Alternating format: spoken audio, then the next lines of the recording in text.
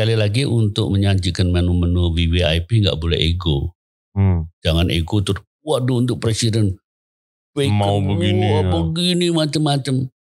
Lebih banyak elemen yang kita pakai, lebih kesempatan kesempatan kalau dicek oleh security kesehatan presiden. Banyak hal-hal street food itu nggak bisa dicontoh ke- masuk ke restoran gitu. Coba oh iya kamu dong. di dalam restoran bakar ap- eh, sate ayam seperti depannya Iya, rumah sakit Pertamina. iya. iya. Asapnya sampai nutupin jalan.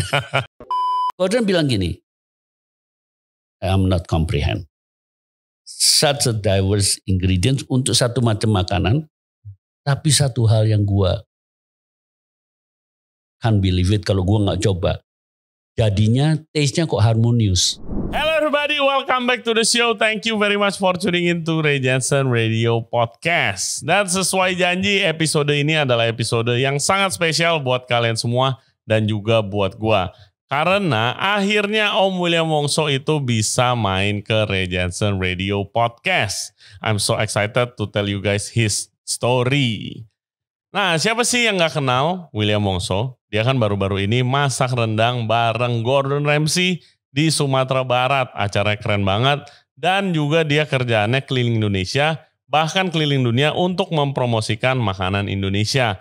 Nah dia ke podcast kita itu mau cerita tentang perjalanan karirnya dari awal sampai sekarang dan juga mempromosikan makanan Indonesia di luar negeri itu apa gunanya buat Indonesia, apa manfaatnya buat kita. Jangan lupa subscribe di Ray Jensen Radio Podcast. Selain di YouTube channel, kita juga ada di Spotify, Apple Podcast, Google Podcast, dan juga Anchor App. For further updates, cek Instagram kita di Ray Jensen Radio. Oke, please welcome William Wongso. Enjoy the show.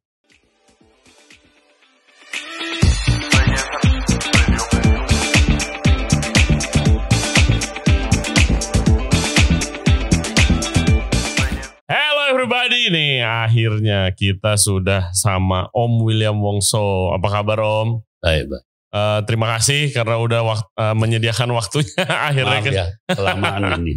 setelah hampir tiga tahun podcast kita akhirnya bisa sama Om Will. Eh, apa kabar Om? Baik, baik. Eh, lagi sibuk apa sekarang? Ya ini apa itu eh, karena udah praktis dua tahun lebih saya Hmm. Nggak banyak aktivitas cuman lewat. Tapi untung adanya Zoom ada apa ya? Tapi online sering. Ya Mm-mm. tetap online. Hanya mulai mulai traveling itu November tahun lalu. Hmm, hmm. dan sekarang ya lebih merasa lebih luasa lebih rada nekat dikit. Mulai banyak banyak jalan lagi gitu. Hmm. Ya Om ini sangat sibuk eh eh, with the travels, terus habis itu programnya dengan eh, apa? Ini ada G20, Spice Up the World, Ya. terus belum lagi keliling-keliling Indonesianya. Eh, food diplomacy ya Om. ya. Nah. Kita mau eh pasti banyak penasaran. Om itu mulai di industri em, F&B atau industri makanan itu dari kapan sih Om? sejak aku buka bakery ya Hmm. tahun 77. Oke. Tahun 77. Ini memang pendek aja ya. Hmm, Aku hmm. cuman mau mau sharing. Hmm.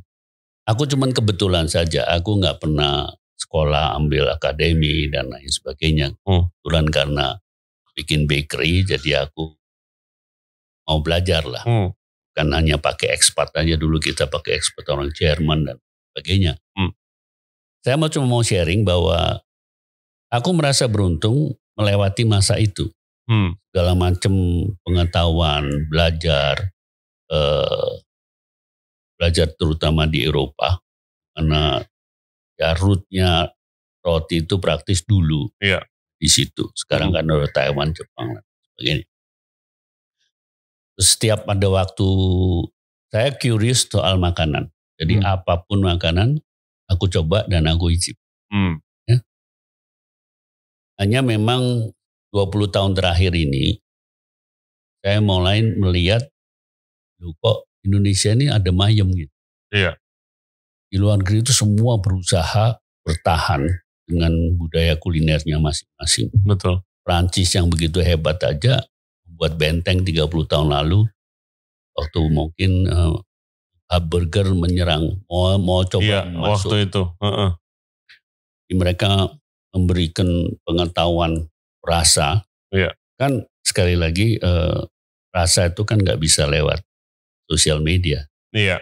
Jadi mereka udah memberikan rasa asli eh, kuliner Prancis kepada mulai anak-anak SD. Hmm. Mereka bikin juga eh, Fête de la Goutte itu eh, Day of Taste, cita rasa hari sehari. Mungkin saya nggak tahu sekarang apakah masih diteruskan. Kalau nggak salah bulan Oktober tanggal tertentu seluruh Perancis itu Iya. apa pun yang yang berkecimpung di bidang F&B membagi cita rasa Iya. tradisi. Iya, saya ingat waktu dulu di Prancis juga ada namanya Slow Food Festival. Ya. Itu yang anti fast food gitu kan. Ya, Gitu. Waktu itu saya sebenarnya slow food itu banyak aspeknya bukan fast food fast food hmm, burger nanti dia em, semua itu harus proses alami gitu. betul. Kalau nggak mungkin toh bayi dalam tiga bulan terus saudara saya jadi dewasa. Hmm, Tapi dalam kenyataan sekarang kan industri bio Hmm. bioindustri kan dilakukan begitu. hmm, Ayam dalam waktu tiga, tiga minggu udah bisa dimakan. udah bisa potong. Padahal ayam kampung mungkin enam bulan gitu. Tapi kalau nyajin ayam kampung dibilang keras dan mahal dagingnya dikit. Ya, ya Iya. itu itu memang suatu kenyataan karena ayam kampung di kita tidak pernah di, di diolah, betul. dikembangkan. Hmm, Kalau di Perancis kan ada gourmet. Yang kayak, gourmet produk ayam misalnya. hmm, hmm. Itu sampai ayam yang tidak pernah berubah genetik dari zaman Bahela sampai sekarang Hmm. ada labelnya. Ayam kaki kuning, ayam makan jagung, Iya. ayam itu semua sebagai ayam tapi mahal. Hmm, iya kayak poulet de Brest itu. Ya, poulet de bread, poulet de mais dan lain sebagainya. Saya tuh waktu itu eh lihat Om pertama itu di TV Om yang Cooking with William yang di apa masak Chinese food. Ya. Terus habis itu Om punya acara jalan-jalan juga kuliner. Eh mulai dari situ kayak istilahnya banting setir untuk kayak fokus untuk mempromosikan makanan Indo itu dari kapan? Tahun 2000-an. Hmm. Karena Om tadi lihat itu. Ya, saya melihat kok kita nggak, saya kalau dulu juga aktif sebagai ketua Boga SMK selama 8 tahun. Awalnya itu masa lomba nasional gitu, Hmm. keterampilan siswa, bikin pastry lah, bikin makanan-makanan Eropa. Hmm.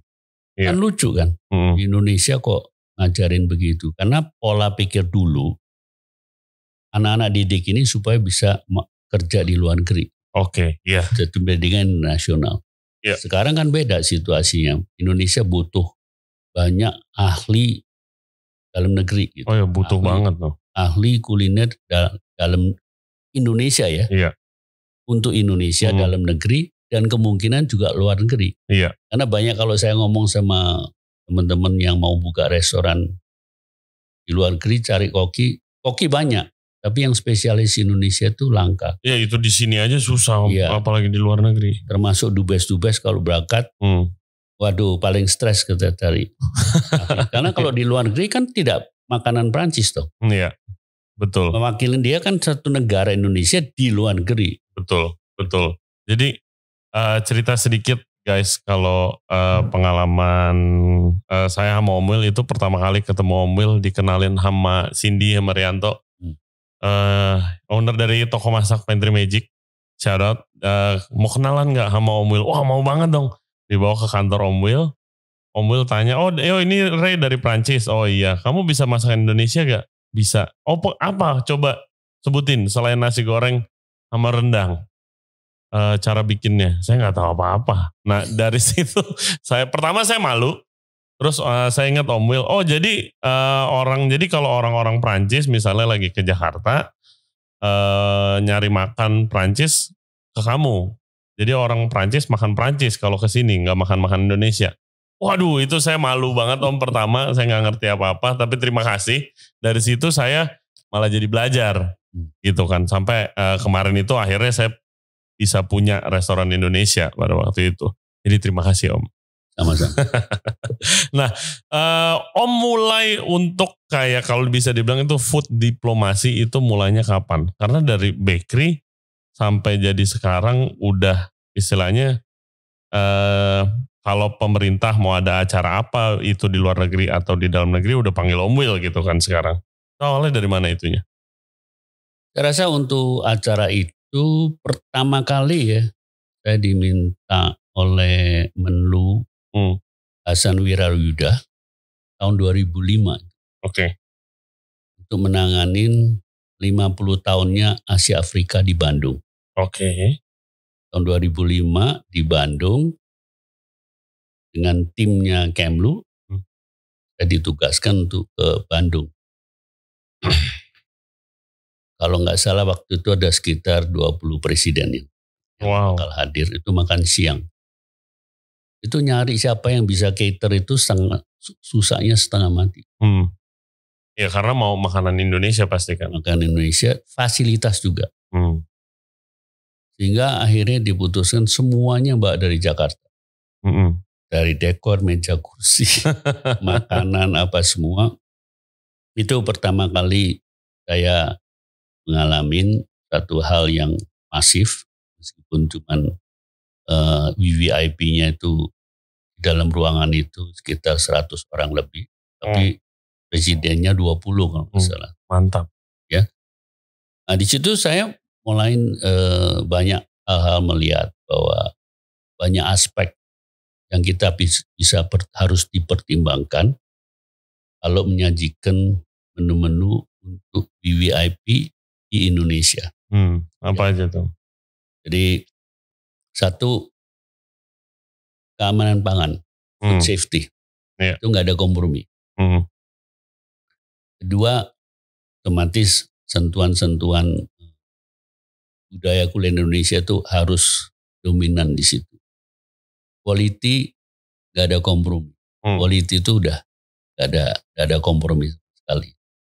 Rasa ya harus otentik Indonesia, hmm. kali nggak boleh pedas. Iya, mereka nggak kurang suka Ditambah pedas. lagi harus punya data.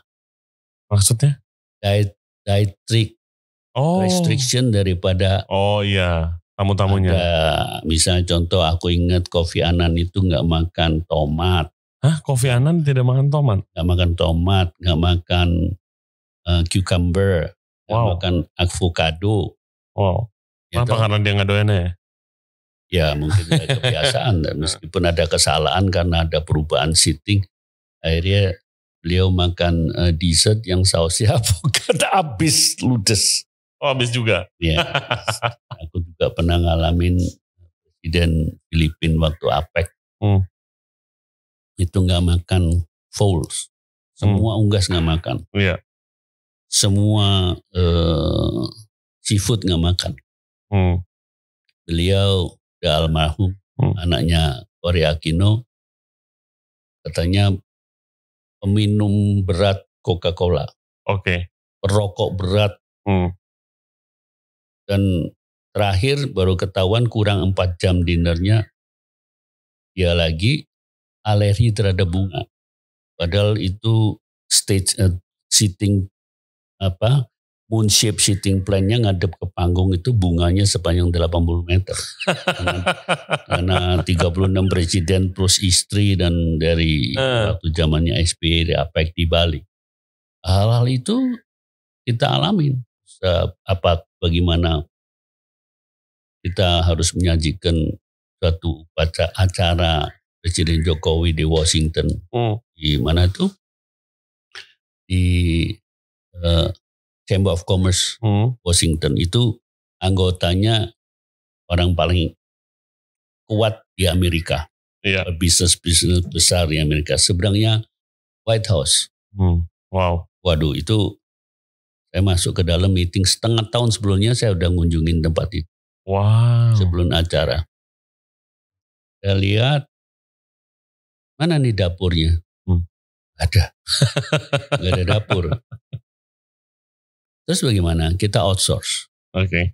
Kita yang ada semacam pantry, hmm. ruang meeting tertentu dibakar pakai untuk plating. Dan setahu saya kata mereka selama ini nggak pernah menyajikan non-American food.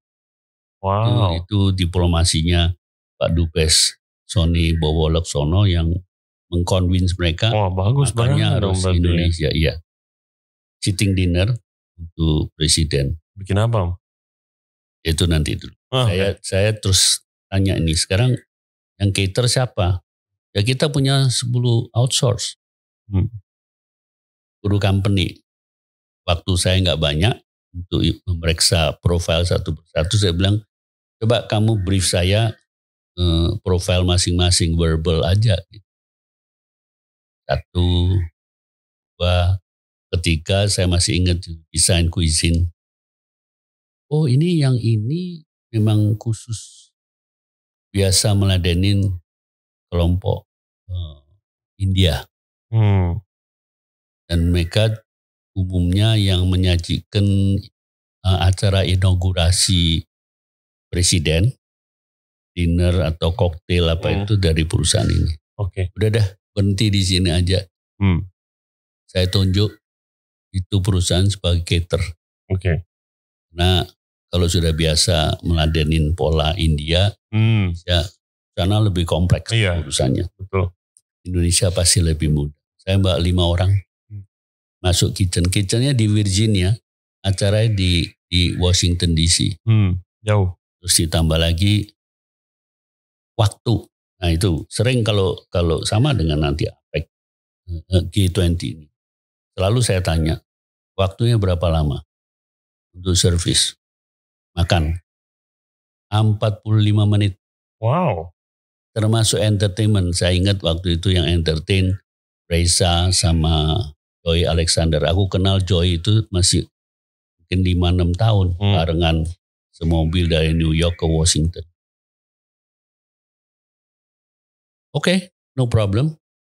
Eh, hanya menunya saya potong. Hmm. Ya biasa mereka boleh nggak eh, appetizer itu disajikan Oh. sebelum tamu datang? Hmm. Nggak bisa. Buat saya nggak bisa. Hmm. Semua yang ada makan di meja yang tidak ada orangnya itu waste buat aku. Hmm. Nggak mau saya.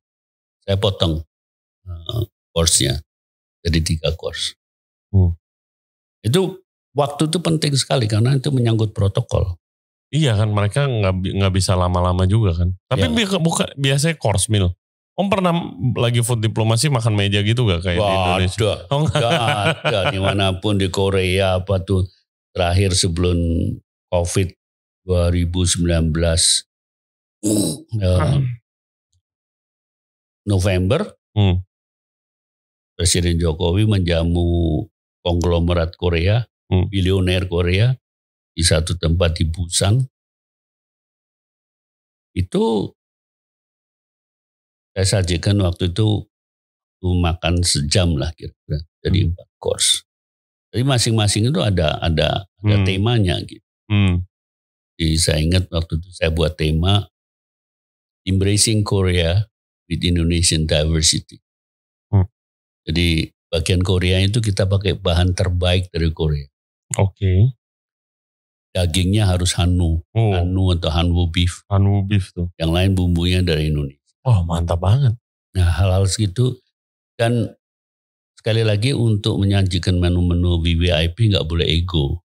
Hmm. Jangan ego terus, waduh untuk presiden bacon, Mau begini, wah, ya. begini macam-macam.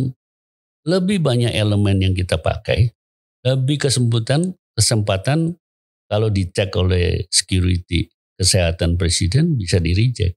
Hmm. Pernah ada pengalaman gitu?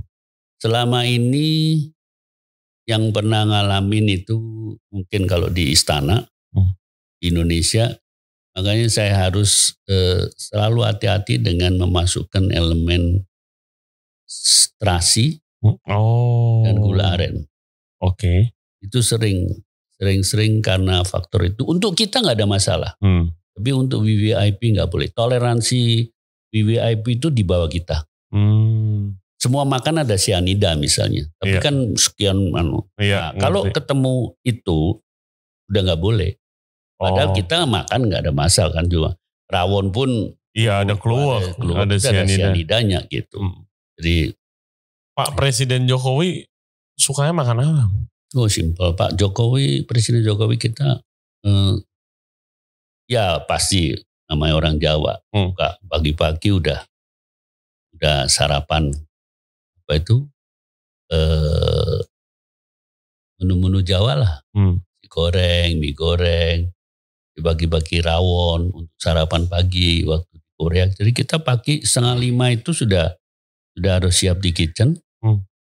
menyiapkan jam lima dites makanan itu. Oh dites dulu ya. Oh iya selalu. Iya, pasti. Itu itu protap. Nggak bisa lari dari situ. Makanya selalu harus hati-hati dalam hal itu. Bayangin kalau kita udah nyajikan tahu-tahu ditolak. Ini pun kita G20 kita udah lakukan testing. Iya. Habis ini ada testing juga dengan Pas Pampres untuk untuk ngetes menu-menu kita itu kira-kira layak atau tidak. Kenapa eh, menurut Om food diplomacy itu sesuatu yang penting? banyak banyak masalah diplo, eh, politik yang sangat rumit itu diselesaikan di meja makan. Hmm. Kita lewat through food we make friend. Yes, it's true. Ya, jadi kalau saya itu pengalaman sekian lama kalau ke mana-mana nanti saya ketemu orang yang mungkin saya saya nggak pernah kenal ngobrol-ngobrol. Oh lu kamu dari mana? Dia bilang dari negara mana? Eh pancingan aja. Hmm. Oh kebetulan ada satu dua macam makanan yang saya kenal. Saya katakan makanan itu. Hmm. Oh iya, Gara-gara tahu. kamu itu aku suka banget itu. Hmm. Langsung bling-bling matanya. Iya. Langsung melek. Eh, nanti aku aja ya undang mama saya yang masakin. Nah, iya tuh. Iya. Coba kalau mau ngomong politik, ya, pasti ada barriernya. Iya, iya, ngomonginnya makanan. Food brings people together. Nah, Om juga selalu menyempatkan eh, kalau lagi keluar negeri itu juga untuk ngiter kan, nyobain makanan lokalnya juga kan. Dari dulu. Iya, mana? Saya ingat dulu Om eh, sama Om kita lagi di Jepang, ma nyobain apa? Shorthorn beef Ah, di atas gunung. Hmm. Itu sampai sekarang sih itu sapi terenak yang pernah saya makan Iya. sih itu. ya Korea sejenis. Hmm. Karena fatnya tidak tinggi seperti Kobe. Oke, oke, iya itu enak, enak banget itu. Jadi guys kita lagi di kota kecil di Jepang. Gunung. Iya, tapi Dan kan di, salju. di bawah kan di bawah kan deket pantai justru Iya, kita oh naik iya. tiga jam naik bis Iya. salju-saljuan Hmm. untuk demi satu jenis sapi ini yang Om Will penasaran banget dan kita ikut. Waduh enak banget sih itu, Hmm. mantap. Nah kalau di Indonesia sendiri Om mulai ngiter-ngiter kapan? Oh cukup lama. Kalau gini, selama 40 tahun aku Hmm. suka motret. Suka foto makanan candid. Hmm. Aku bukan bukan studio fotografer. Sudah sekitar aku paling suka pasar tradisional. Hmm. Jadi selama 40 tahun aku tuh mendokumentasikan pasar tradisional di mana pun aku pergi. Hmm. Di mana begitu aku sampai satu tempat, aku selalu tanya pasarnya itu di mana Iya. tradisional. Hmm. Biasanya pasar selalu pagi. Hmm. Nah saya anggap begitu saya masuk pasar, saya pasti lihat bisa meyangin tentang budaya setempat, budaya kuliner, ekonomi dan lain sebagainya dari pasar. Iya. Terus kedua saya tanya sarapannya apa khas dari tempat itu. Nah tadi Om bilang bisa melihat budaya, ekonomi, itu coba jelasin untuk listener kita. Dari mana lihat? Dari bahan yang kita lihat. Kalau kalau misalnya pasarnya cuma jual sayuran tok seperti India, itu vegetarian. Iya, Kebanyakan yang jual daging semua diumpetin. iya, iya betul. Nggak boleh di pasar. Itu kan budaya. Hmm. Gitu. Ya, berarti ini vegetarian nih gitu kan. Ya ini vegetarian. Atau kok begini ya bahan-bahannya. Atau kita masuk di pasar di Kalimantan daerah Dayak. gitu. Hmm. Itu makanan-makanan alam banget. Iya. Dan kita nggak mungkin kita bisa dapetin di Jakarta. Betul. Ya nggak? Betul. Itu kan keunikan-keunikan yang kita nggak bisa dapatkan dari masuk supermarket. Hmm. Coba kalau masuk supermarket kamu tanya sama eh, apa tuh yang jaga eh, tem- eh, bahan ini di mana? Paling dia buka komputer dia, oh itu road 34. Iya. Kalau di pasar kan dia jualan bahan tertentu. Iya. Jual bumbu misalnya udah tiga generasi. Iya. Diceritain lah tuh. Oh dia tahu permasalahan. Makanya itu pasar itu living Hmm. ensiklopedia untuk budaya kuliner setempat. Hmm. Mm-mm. Iya jadi Om mulai udah 40 tahun lalu bukan kalau saya tahunya kan waktu zaman sosial media aja rajin banget Om ngupload. Ya karena dulu kan saya nggak bisa posting. Hmm, hmm. Coba dulu mau cetak, mesti ke ke stud, ke apa eh, ke lab, Hmm. Cetak film dulu. Ngelihatnya juga nggak pernah jelas kan. Di itu di screen cuma dikeker-keker gitu, Hmm. lihat dipilih, proses bisa dua tiga hari lagi baru kita lihat hasilnya. Kalau udah gagal ya sudah gagal. Hmm. Tapi sejak aku lupa ya tahun berapa mulai sosial media itu ya, waduh banyak stok stok tato bermunculan Hmm. gampang gitu loh untuk untuk menyajikan. Tetap yang harus kita lihat hanya cuman bukan motret, Hmm. komposisi, makna. Jadi saya coba di Instagram itu saya membuat eh, foto essay. Hmm. Jadi orang melihat foto secara visualisasi, orang punya niat untuk tanya, Hmm. Tuh. oh itu apa? Gak perlu, karena saya anggap kalau di Instagram itu, kalau kita nulisnya terlalu panjang juga Ya orang nggak baca orang, ya. orang nggak nggak baca, tapi poin-poinnya aja, interestnya capture dulu, Hmm. capture interest supaya kita bisa komunikasi. Hmm. Kalau Instagram cuman follower, nggak ada komunikasi, Hmm. karena eh, populer misalnya, buat saya saya nggak melakukan itu. Saya melakukan karena saya fokus di bidang kuliner. Hmm. Saya cuma membahas apa yang saya lihat, yang baik, yang jelek, Hmm. saya nggak Iya, iya. nggak perlu bahas. Hmm. Eh, create culinary interest. Karena saya percaya dengan gastrodiplomasi itu kita nggak bisa nyajikan makanan terus bilang, do you like it? Secara sopan mereka mengatakan, yes, I like it. Iya. Terus sering-sering mereka tanya, where's the Indonesian restaurant? Gak ada. Iya. Ya enggak? Tapi kalau kita ceritaan budaya kuliner, Hmm. mereka tuh nangkepnya lebih dalam. Hmm. They create interest.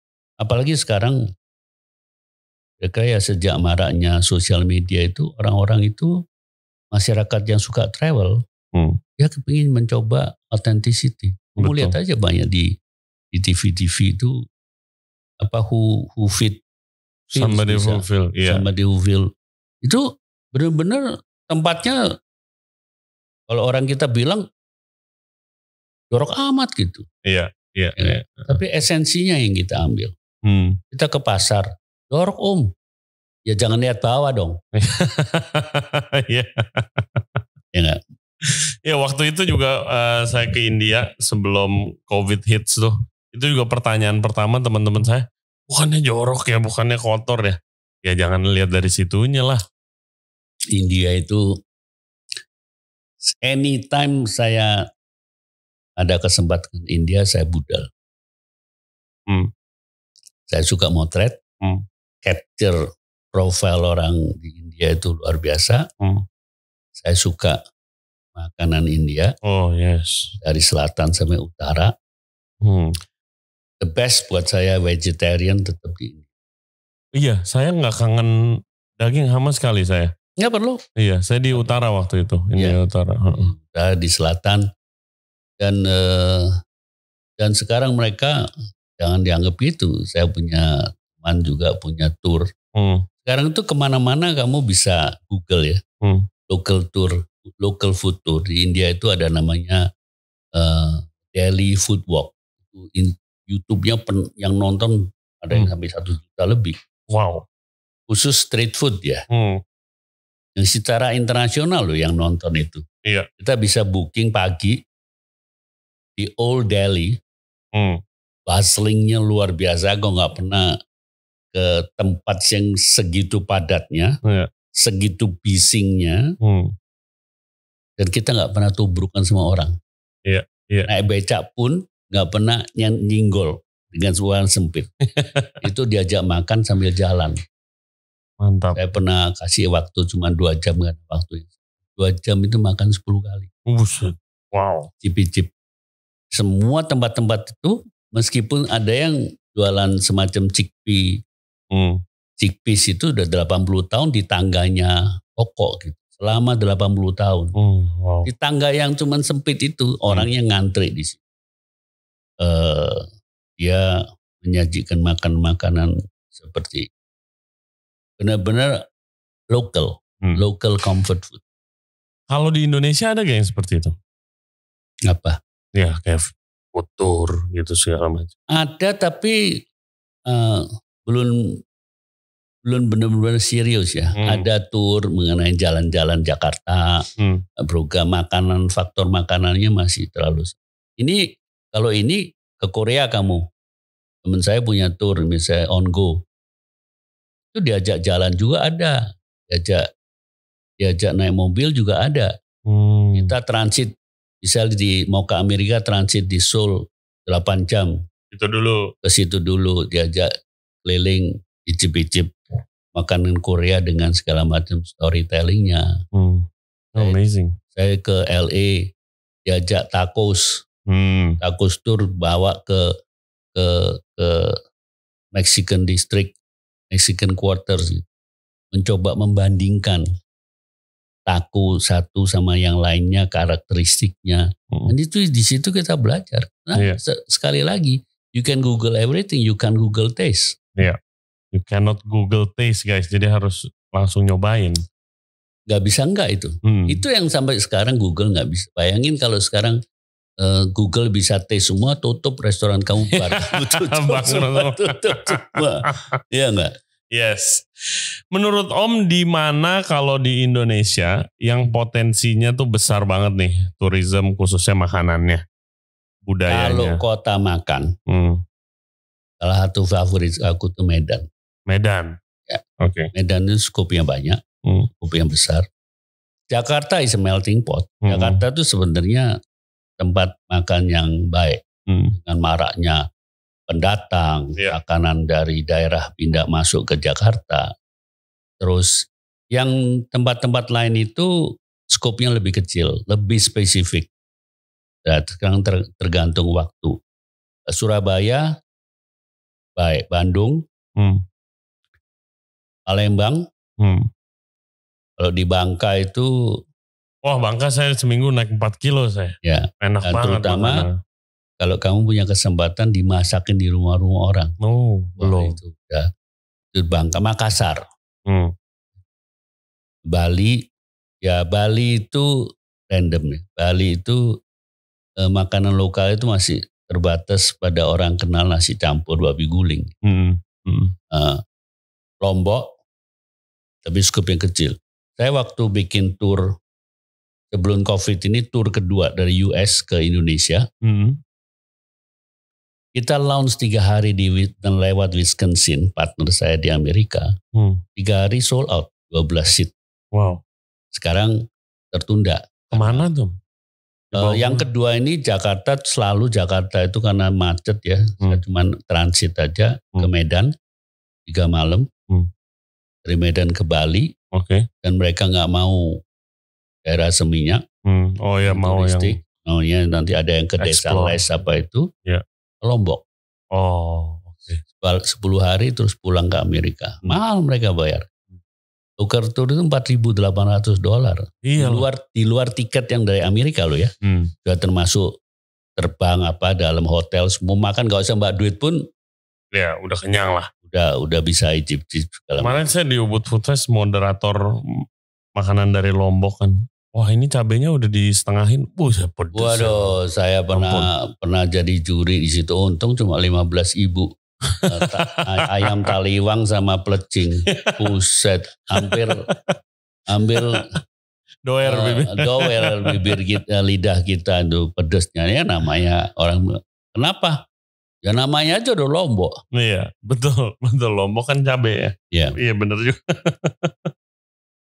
nah, Om lanjut uh, waktu itu Gordon Ramsay ke sini Om.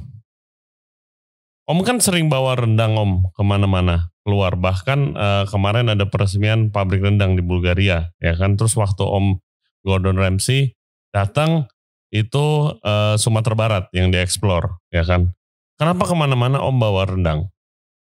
Ini ya, kalau kamu mau nunjukkan uh, kompleksitas, hmm daripada suatu budaya kuliner Indonesia, eh, oh, satu negara, kita hmm. mesti cari dari yang paling kompleks dulu hmm. untuk memperkenalkan supaya nggak diecek-ecek, nggak di nggak di nggak di apa itu ah cuman gitu aja. Tahu-tahu misalnya kita tunjukin daging kasih lada garam terus dibakar, hmm. dikasih sedikit bumbu, hmm. cuman itu tok.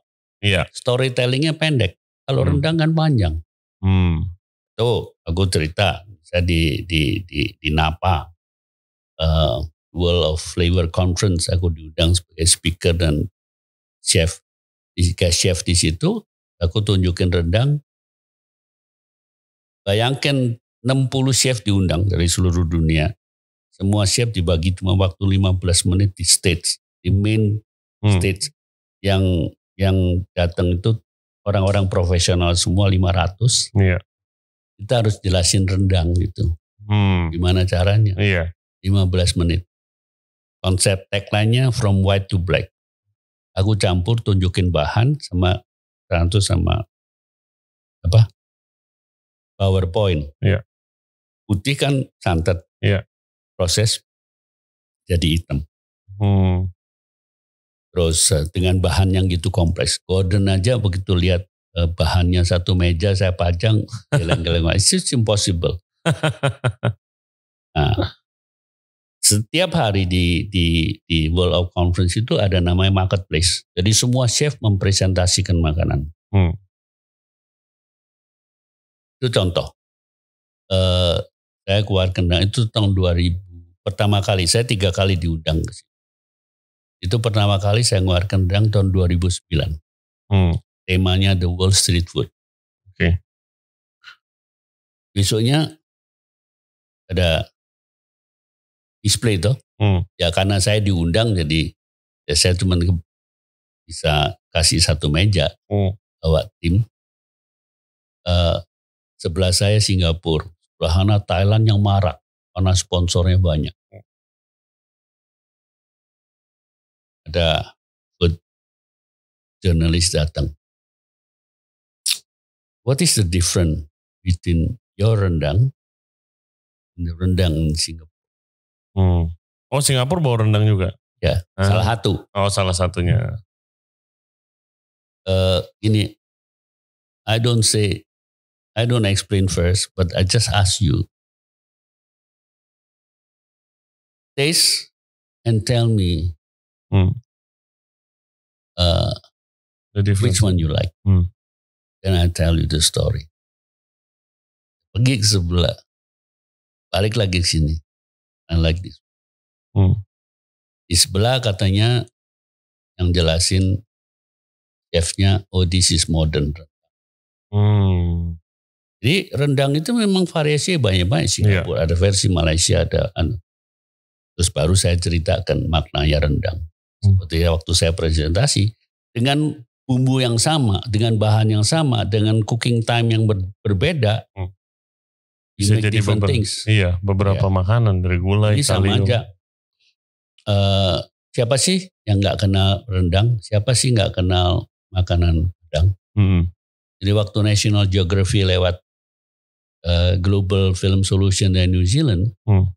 dengan teman, bilang ini uh, Ordinancy will do a Uncharted episode kedua, Uncharted 2 season 2 mau shoot, setelah syuting di Tasmania ke India ada waktu kosong lewatin di in, lewatin uh, Indonesia.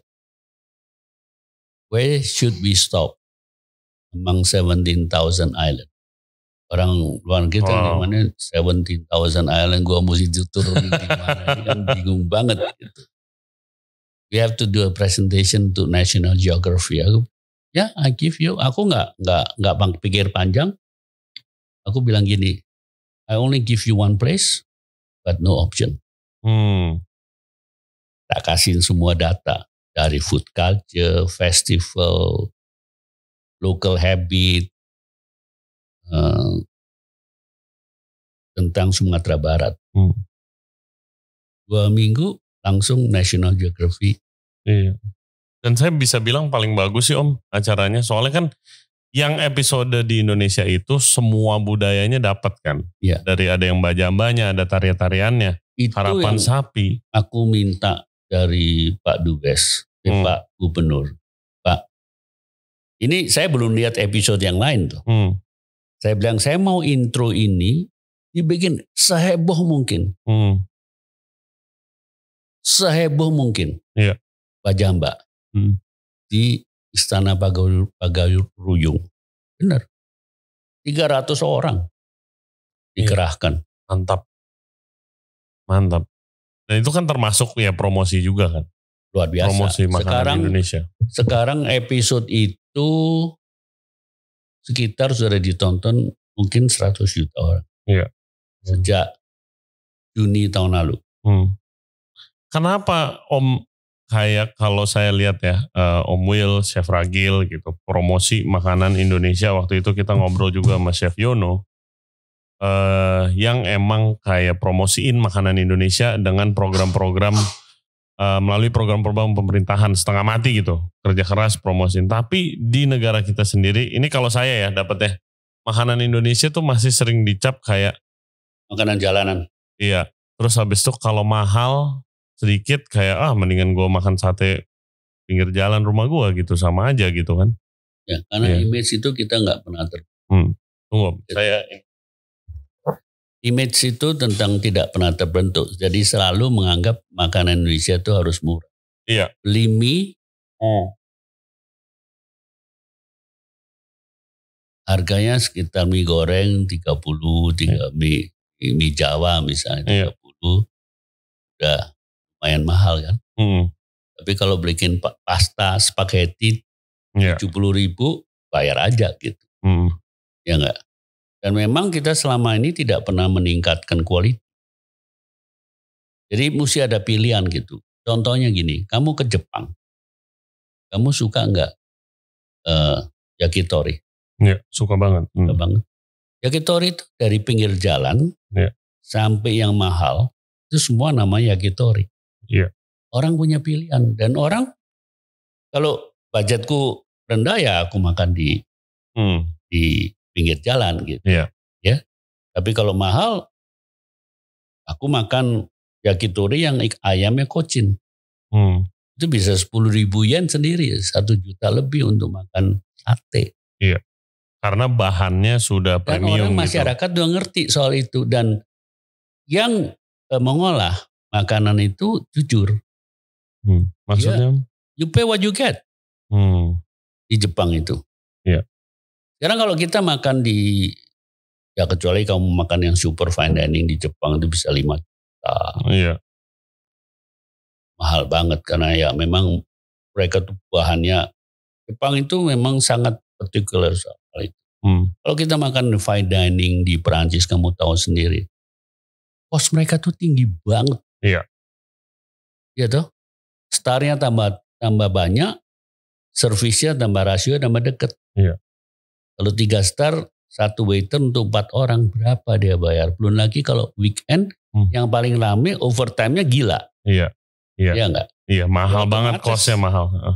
otomatis kita makan menu aja baru eh, satu men- menu aja sudah 350 euro. Eh, euro iya. Hmm, Sama aja kalau di, di di Jakarta sekarang kalau kita makan eh omakase omakase. Ya, kalau udah namanya omakase hmm. 5 juta. Tapi apakah masalah ini kayak di negara-negara yang saya bandinginnya sama Asia Tenggara nih, Om. Thailand gitu. Itu ada persepsi juga gak sih makanan Thailand harus murah gitu? Pasarnya. Enggak, Enggak ya? enggak. Banyak restoran Thailand yang Hmm. yang kelasnya menengah atas. Hmm. Yang diolah oleh chef-chef yang non Thai tapi udah Hmm. lama di Thailand. Iya. Iya banyak tuh. Gagan, eh, Gagan sekarang pindah pindah di Thailand kalau nggak salah. Apa dari Thailand keluar Si, ke Taipei. iya, iya betul Iya betul.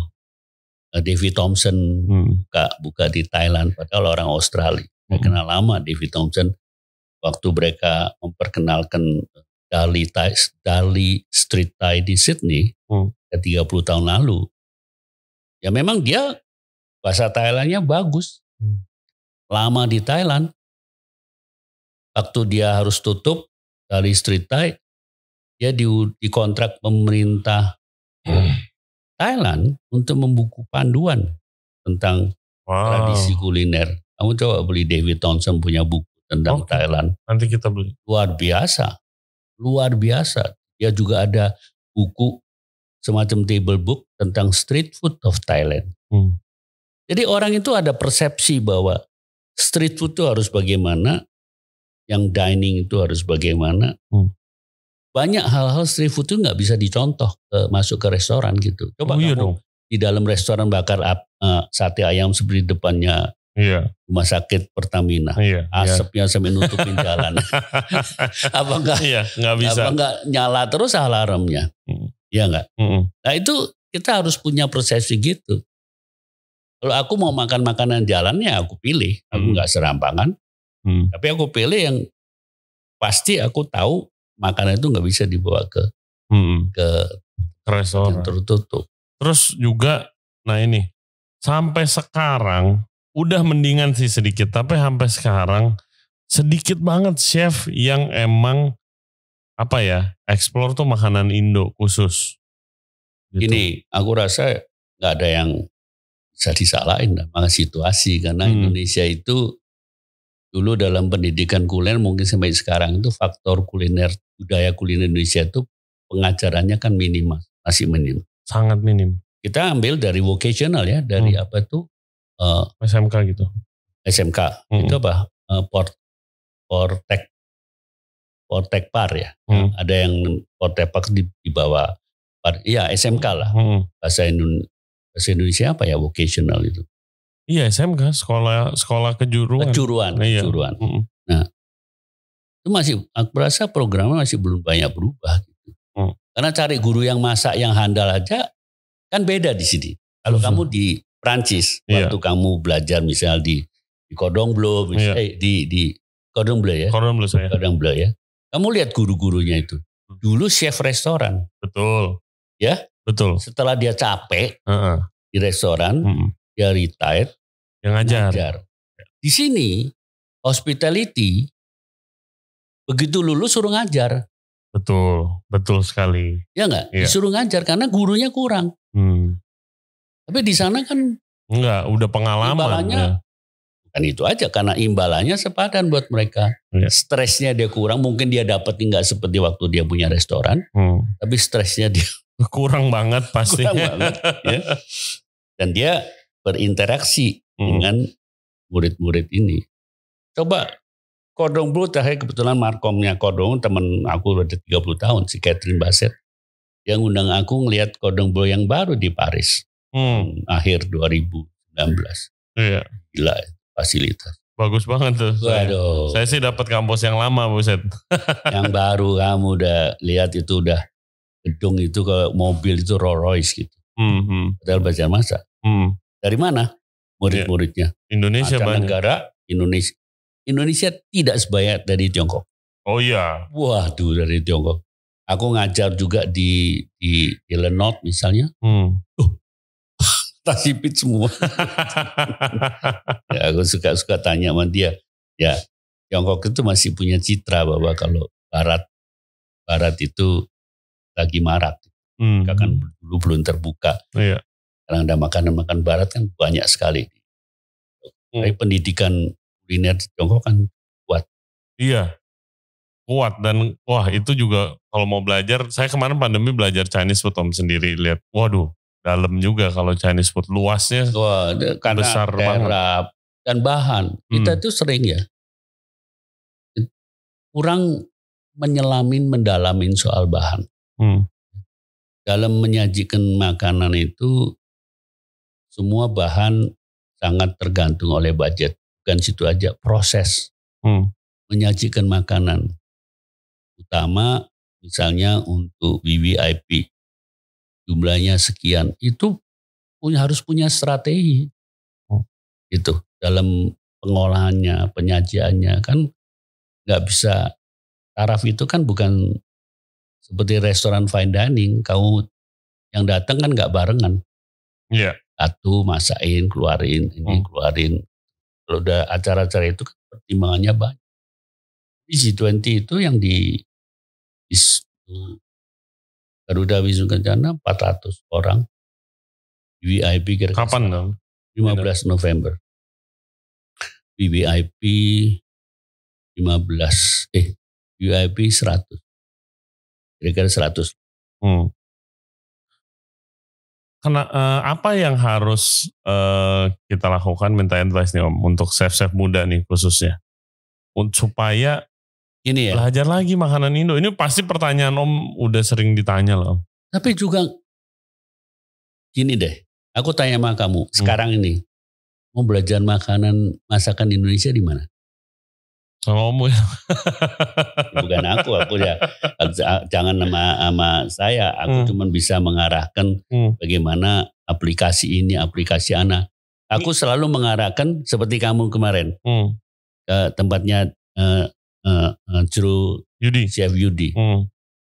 Banyak nih anak-anak kalau orang tuanya itu saya buat tempat ini. Hmm. Banyak orang tua datang saya sama anak-anak yang umur 15 tahun gitu. Hmm. Om, ini anak saya tuh nanti suka masak. Hmm. Buat aku patokan suka masak itu bukan patokan. Iya. Sekarang dua Hmm. tahun lagi mungkin berubah dia. Hmm. Jadi gimana nih? Ada liburan nggak? Ada nih. Nanti kita lagi mau mau ke Bali. Oke, masuk camp Bali Mula. Hmm. Saya jegurin di situ. Telepon Jero Yudi, ini ada anak 15 tahun, masukin ke situ. Biar dia tahu. Nggak usah diajarin ABCD teori segala macam. Suruh Praktek dia aja. barengan praktek melihat, mencicip. Melihat di area kapal, ikan turun. Kan banyak anak kan nggak pernah lihat Iya. ikan. Nggak. Ikan taunya udah di piring. Iya betul. Ya nggak? Betul. Dia lihat, ikut ngangkat. Hmm. Gila beratnya. Terus motong, saji, makan dari mentah. Hmm. sampai dimasak, Iya. lihat bumbu mengolah. Iya. Empat hari jatahnya Hmm. nggak mau pulang, Hmm. minta sampai seminggu. Kalau nggak dijemput bapaknya nggak pulang. Sekarang minta lagi balik ke sana. Hmm. Karena apa? Itu harus ditimbulkan dulu gitu. Hmm. Bukan buat aku ngajar masak itu gampang. Hmm. Gampang kamu kalau udah sudah sudah anu kan. Aku satu waktu kalau lupa sesuatu ya aku buka aja YouTube untuk ngingetin. Oh ya ini, oh ya sudah. Hmm. ingat lagi gitu. Ya nggak?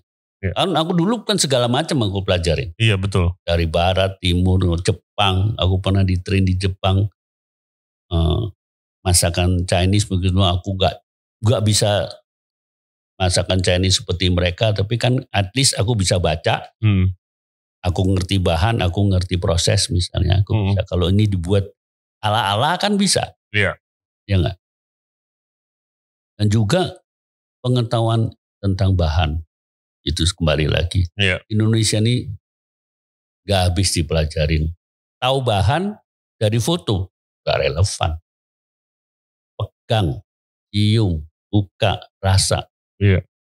Iya kemarin di di eh, Bali Mule di Desa Les juga belajar tentang kelapa aja lama Uh, banget.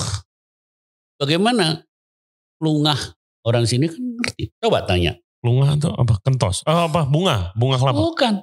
Kelapa yang belum jadi. Yang batoknya masih lunak. Oh. Itu dimakan, dicincang buat buat lawar.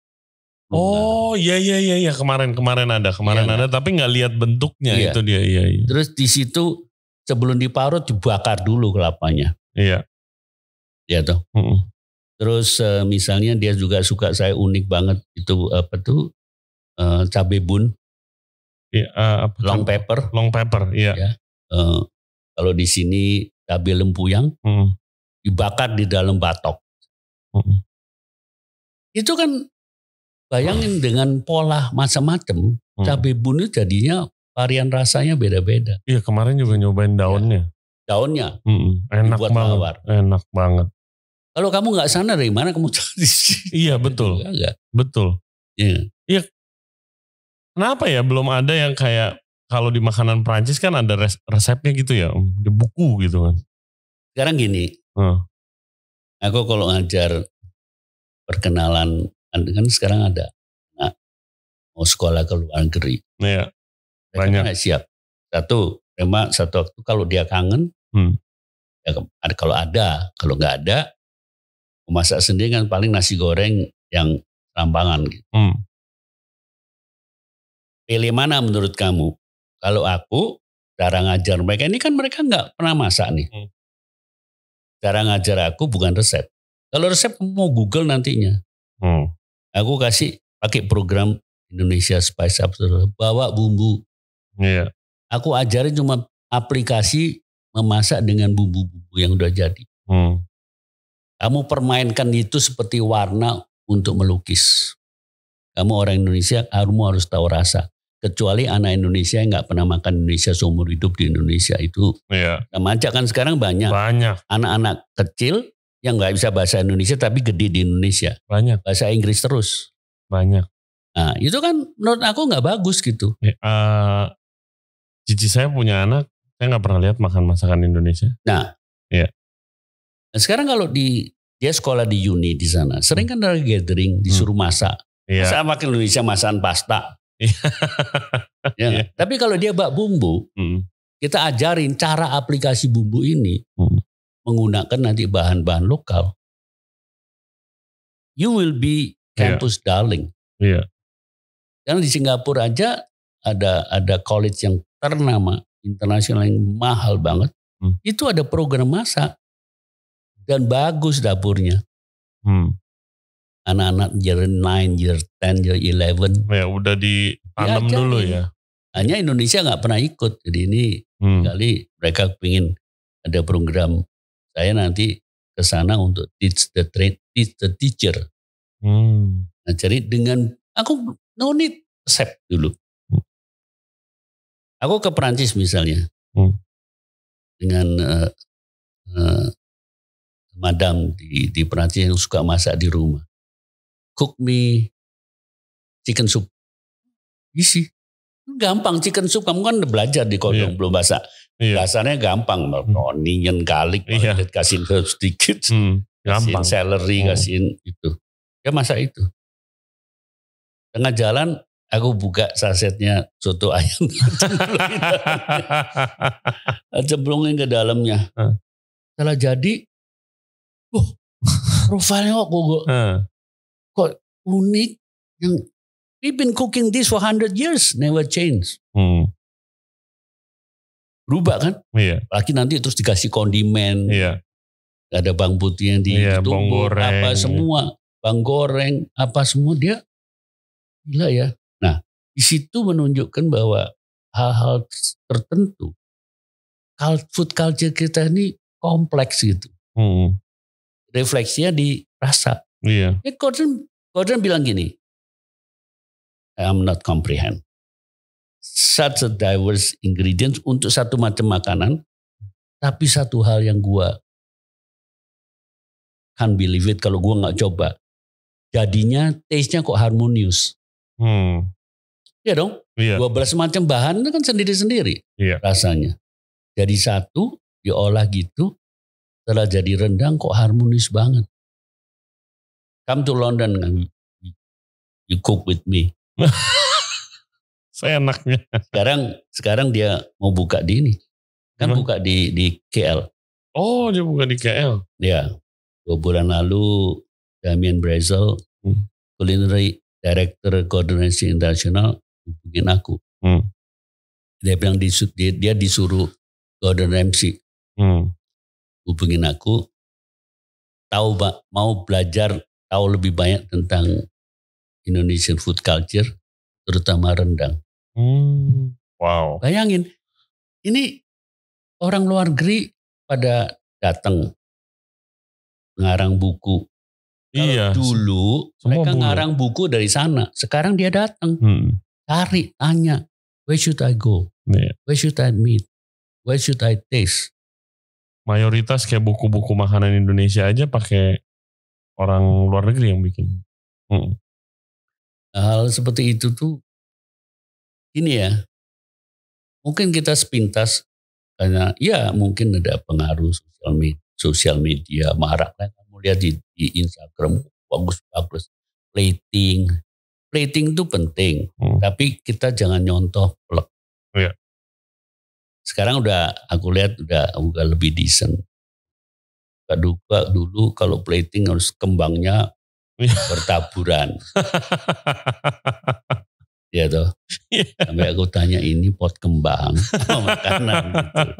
Ya nggak? Kamu kalau mau desain menu itu yang dipikirin edible flowernya dulu atau Hmm. menunya dulu. Iya sempat ngetren edible flower. Sekarang udah udah mulai aku suka mulai yang kurang. Di luar negeri juga masih dipakai. Hmm. Itu eh, eh, micro herbs apa itu aku pernah ngunjungin di di Den Haag luarnya Den Haag itu gila. Peran Adrian aja diundang ke situ untuk untuk tasting. Hmm. Oh pabrik microherb gitu. Iya. Bikin microherb. Nanem, nanem. oh nanem. nanem. Itu gede banget. Hmm. Ya toh. All the super chef diundang situ untuk Hmm. tasting. Aku pernah diundang untuk mencoba 40 jenis. Wow. What is it? Hah? Oyster. Yes, exactly. Oyster leaf. Nah oyster leaf. Yo ini jarang. kok, kok si- seaweed? Iya. Ini kok ada rasa lautnya. Iya, tapi kita nggak tanam di laut. Amazing. Tanaman dari laut, Hmm. tanam di darat. Ini kok ada rasa apel? Iya, eh, bunganya apel. Wow. Nah, itu ada reason gitu. Jangan cuman karena mata tok. Iya. Iya, Om. Nah, sekarang masuk ke Spice Up the World nih Om. Om eh, kan juga apa ya salah satu tim intinya lah untuk Spice Up the World. Apa goal Spice Up the World dari eh, pemerintah Indonesia?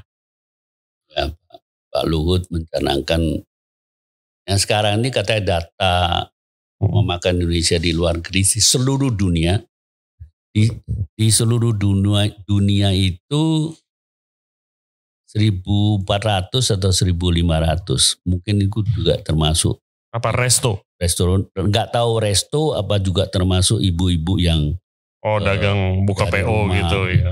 tapi kan itu juga sering-sering diem-diem aja Hmm, hmm. kan nggak bisa seperti di sini bebas. Eh, Pak Luhut kepingin tahun 2024 ada 4.000 rumah makan di Indonesia. Hmm, Amin, amin. Caranya gimana?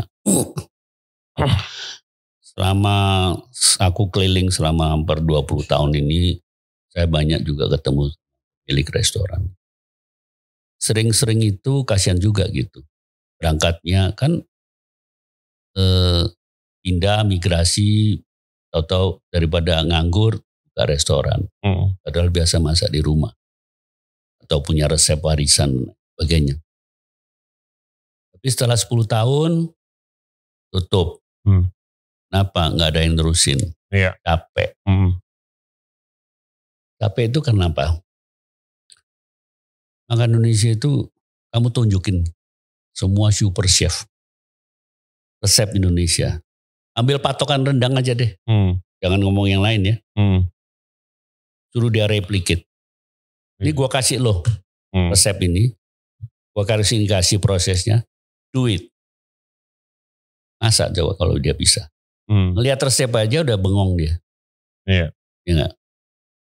Kedua, pengamatan aku. Semua yang sering bilang, oh di negara sini, di Amerika, di Eropa, kita bahan cukup lengkap. Dari mana bahan itu? Hmm. Serai dari mana, lengkuas dari mana, Thailand biasanya. kencur nggak ada. Hmm. Bawang merah kalau ada muahal, Iya. diganti bawang bombay bisa nggak? Hmm. Ya, banyak kompromi itu. Iya. Ditambah lagi harus ngolah, Hmm. harus ngolah sendiri. Bersihin cabai. Iya. Karena kalau diserahkan eh, staff 20 dollars di Iya. Australia itu 20 dollars per hour. Kupas bawang. Pas bawang, Capek giling, banget. kan capek banget. Hmm.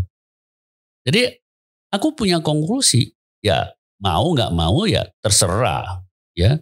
Tapi ini guideline seperti kita contoh, ada nggak rumah makan Jepang nggak pakai kecap dari Jepang, miso dari Jepang. Hmm. Terus miso supnya diganti dari Sukabumi, Tauco. diganti sama tauco, ya nggak? Iya, iya. Ya nggak? Heeh. Nah, itu kan mereka ada sebenarnya hampir 100 ribu rumah makan di seluruh dunia berapa ekspornya? Thailand punya 26 ribu lebih mungkin sekarang. Ekspor bahan baku tuh Iya. ke satu dia punya market rumah makan. Hmm. Kedua orang Thailand. Ketiga orang non Thailand sudah kenal makanan Thailand beli bumbunya ditaruh di dapurnya Rumah. Iya. untuk masak. Ya nggak? Iya. Kan kita belum sampai ke mana-mana gitu urusan-urusan seperti itu. Hmm. Jadi ya saya coba menginisiasi ada dua bumbu di Indonesia itu banyak tinggal dipilih suka-sukanya tinggal tunggu importirnya ada atau enggak Hmm. sering-sering juga masalah nyatanya importirnya enggak ada Hmm. kalau ada merek macam-macam tinggal pilih ya. Terus eh, sekarang misalnya contoh di Australia itu sudah didatangkan bukan bumbu rendang bukan bukan bumbu gulai tok tapi bumbu misalnya cabai keriting. Hmm. bumbu bawang merah. Bumbu lengkuas. Jahe. Kencur. Sendiri-sendiri nanti tinggal di mix Hmm.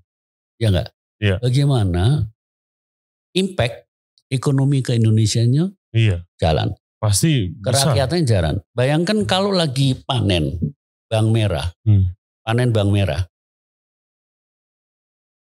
pembelinya kurang Buang. Terus jadi apa buang kan Hmm. tapi kalau jadikan bumbu dihancurin dimasak sama minyak Iya. kan tahan lama Tahan lama. Bisa beku, bisa apa. iya Heeh. bisa diekspor ke mana-mana jadi saya selalu memberikan analogi masak dalam Indonesia di luar negeri seperti kamu belajar melukis Hmm. pelukis beli bikin nggak warna sendiri Enggak. beli kan Hmm. macam-macam merek kan Hmm. ini sama bumbunya macam-macam kamu eh, mix sendiri aja seperti kita kalau ke pasar lah sekarang di sini oh saya mau bikin rendang satu kilo oh, diambilin Iya. sama ibu. nanti itu ditumis tapi ini sudah ditumis Hmm. semua udah matang kalau kalau mentah-mentah kan nggak bisa ekspor ke Australia gitu Boleh 4.000 restoran ya. ya target Hmm. tapi jangan jangan lupa loh ya bikin restoran di di di, di luar negeri seperti saya ada satu, satu proyek di Jeniwa itu akhirnya saya bilang sama investornya udah deh jangan diterusin Hmm. Satu orang staff 4000 Hmm. Swiss franc Swiss franc. dan satu restoran mau pakai berapa Aduh. Iya, iya, iya. Iya nggak dari di Australia satu jam 20 dolar Hmm. di Swasser minta 30 dolar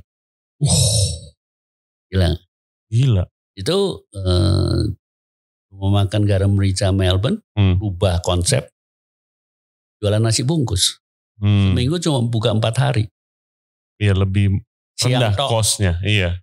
siang tok tempat duduknya nggak banyak yang lain orang take away satu orang bisa beli lima bungkus 10 bungkus ada yang hand carry ke Sydney makanya kita ini lagi kunjungan aku udah cari lokasi di Sydney Ah. hanya untuk nasi bungkus kita nggak usah jangan sekali-sekali terlalu mulu-mulu mikirin fine dining Hmm. Iya harus bikin restoran Costnya yang berapa? megah. Iya betul. Kalau cost perhitungan aku di Australia itu 50 seating per minggu itu bayar staff kira-kira 6 ribu. 6 ribu. 60 jutaan. 6 ribu kali 10 ribu lah. Iya. 60 jutaan bayar gaji staff Bayar belum tok, sewa. Belum sewa, belum food cost dan Iya. lainnya. Heeh. Mana tahan. Iya. Terus kamu mau jual berapa? Sekali makan 70 dolar. Iya. Ini nasi bungkus cuma 17 dolar. Hmm. Dua protein, dua sayur. Hmm. Tambah satu protein, 2 dolar. ya kan? Kalau weekend jualan spesial nasi gudeg 20 dolar satu bungkus. Dan satu orang bisa nangkat nendeng 5. Hmm. Ngantri. Iya. Iya dan di sana juga banyak orang Indonesia yang kangen makanan otentik Indo juga. Kenapa? Bukan orang bukan orang di sana aja. Hmm. Karena langganannya natanya di Australia itu multi etnik, semuanya suka. Iya. Dan orang Indonesia yang ke Melbourne mengatakan kok bisa rasanya seperti Indonesia Hmm. ini gimana caranya? Iya. Nah, ini ini untuk makanya kita tuh selalu kalah kalau apa restoran Indonesia tuh nggak banyak. Hmm. Kalau masih pola oh sukses di Indonesia terus mau bikin menu seperti restoran eh, semi fine dining di Indonesia terus ditaruh di luar negeri jebol pasti Iya. Ya, Investasi mahal. Iya, dan investasi mahal. besar. mahal banget di di, di sana itu. Oke, Om. Saya tahu Om nih, bentar lagi mau ada sibuk lagi, mau ada session lagi kan. Pertanyaan terakhir nih Om. Om kan udah umur 75 tahun nih. Masih semangat. Tadi kita sebelum podcast bilang nggak boleh, nggak bisa sampai pensiun gitu kan. Nggak boleh pensiun. Kalau Om sempat mikirin ke depan nggak kalau untuk ke depan regenerasi, siapa yang akan menggantikan Om William Wongso nih? Ini ya, eh, saya hanya apa yang saya lakukan adalah sharing Hmm. pengalaman. Saya memilih siapa yang kira-kira punya potensi. Hmm. Kalau saya ada kegiatan, saya ajak Hmm. bareng. Tapi tetap syaratnya setidak-tidaknya harus bisa mengolah makan Indonesia dengan baik. Kalau kita ke luar negeri itu praktis bumbu selalu aku bawa dari Hmm. Kalau saya ngajar di Kodong Belum misalnya, saya terakhir kan ngajar, tapi akhirnya karena visa, jadi tim aku yang ngajar di Kodong Belum tahun tahun 2019 Hmm. Oktober. Aku nggak bisa diperpanjang visanya, jadi aku Hmm. harus pulang. Mereka ngajar. Biasanya bawa dua, satu resep, satu bumbu. Hmm. Tunjukin resep, bahan-bahannya kita beli secara lokal dan belum tentu lengkap. Kita bikin aja. Hmm. Ini bumbu dari Indonesia. Suruh mereka siswai nyoba. Hmm. Yang mana yang kamu suka. Jadi itu yang paling paling gampang. Hmm. Ya enggak? Karena mereka akan akan mikirkan. Enggak mungkin, saya belum saya belum yakin ada orang di luar negeri yang mau benar-benar belajar masak Indonesia baca dari resep. Dia mau lihat demo cara pola mas- pola masak. Dia mau coba makanannya. Hmm. Itu ya. Tapi kalau dari resep, ya. Tapi kalau kita bisa me- memperkenalkan bumbu jadi seperti apa dilakukan Thailand, Hmm. eh, Vietnam, eh, Korea akan banyak mem- mempermudah mereka. Gojujang bisa nggak direplikasi? Ya, sulit. Ya nggak? Hmm. Contohnya misalnya saya di New York. Saya Gochujang minta. tinggal beli, iya. Nggak, saya mau masak rendang gitu. Hmm. Saya kasih daftar market list. Bingung. Wah, dia bilang the red red chili yang gede nggak ada. kata. Hmm. Iya. Padahal mereka tuh salah. Musinya dia kelarinya ke res, ke grocery store Korea. Korea tuh selalu ada yang merah, panjang hijau. Oke, kamu punya red bell pepper nggak? Hmm. Oh iya punya. Kamu punya jalapeno nggak? Hmm. Aku punya. Sini kerjain aja. Red bell pepper punya aroma cabai tapi Hmm. nggak pedes. Iya. Manisnya nanti dikaramelisasi akan menyatu dengan santan. Jalapeno untuk sentuhan peppery, Hmm. jangan banyak-banyak. Jadi, jadi di situ juga sekalian saya temuin, saya ngajarin ibu-ibu kalau mau bikin rendang yang nggak pedes, Hmm. ya sudah pakai red pepper aja, Iya, jangan sama jalapeno. cabai. Jadi untuk, enggak di Indonesia. Oh di Indonesia. Untuk anak-anak, oh mana saya nggak bisa, anak-anak nggak suka tapi nggak bisa pedes. Ganti aja bu, Hmm. pakai itu. Tapi yang merah ya, Hmm. jangan yang hijau. Itu mereka lakukan. Jadi siapa Om yang ke depannya akan the future, the next? Saya saya nggak bisa mengatakan memang Tapi ada dong beberapa orang. Ya ya ada ada beberapa orang tapi gini perjalanannya kan beda. Hmm.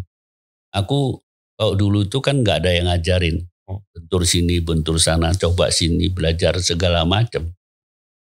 apa aja aku dulu karena bukan sekolah aku lakukan dari periklanan, dari punya travel, Hmm. dari bikin iklan film. Hmm. Dulu kan bukan video seperti sekarang, gampang banget. Hmm. Ya nggak? Kayak iklan film.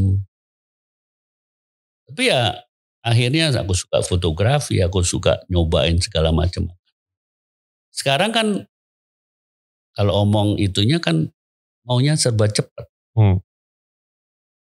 Sekarang overnight kamu bisa populer kok. Iya. Kontroversi atau apa? Bisa populer banget dalam dalam semalam. Hmm. Hmm. Tahu apakah ya saya nggak bisa ngat apakah follower itu sebagai patokan Hmm. one way ya pakai patok untuk ya profesi dapat endorse ini ini. Iya. Tapi sebagai profesional apakah cukup itu? Enggak sih. Ya. Iya. Heeh. Makanya hal-hal itu eh, penting. Saya ya kebetulan aja karena sudah sering untuk, untuk nangan-nangan. Saya bawa gitu. Hmm. Yang genre masih buka yang saya pilih untuk ikut serta. Ya tinggal nantinya ditunjuk atau enggak. Hmm. Ya tinggal lanjutin sendiri lah. Iya, iya. Om William Wongso, terima kasih banyak Sama-sama. untuk waktunya. Sama-sama. Saya senang banget dan sekali lagi saya mau bilang terima kasih karena saya kenal Om Will. Saya jadi mulai belajar makanan Indonesia. Terima kasih banyak Om. Ya, Ya, dan jasa Om sudah cukup besar sekali buat eh, Indonesia Belum, dan belum, buat belum. itu. masih masih masih harus banyak banyak pihak yang harus Semoga sukses Om. Ya. Project ke depannya G20 eh, turnya yang bentar lagi mau eh, resume. Terus fu- eh, acara gastrodiplomasinya supaya sukses selalu. ya terima kasih. Yes, and guys, thank you very much ya. Terima kasih banyak yang udah nonton dan yang udah dengerin podcast kita sama Om William Wongso. Eh, jangan lupa subscribe di Ray Radio Podcast. Kita ada di YouTube, Spotify, Apple Podcast, Google Podcast, dan juga Anchor App. Yang belum follow Instagramnya Om Will ada di William Wongso. Bisa lihat cek eh, foto-foto kerennya semua di sana. Banyak banget foto pasar di Instagramnya. Dan eh, stay safe, stay healthy. We'll see you next time. Bye-bye. Makasih banyak Om.